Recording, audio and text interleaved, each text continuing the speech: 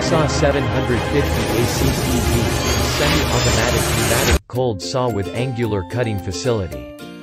This model is suited for cutting pipes and sections up to 75 mm diameter in angle ranging from 90 degree to 45 degree with ease. The ACPV model comes with auto cutting head and pneumatic vise.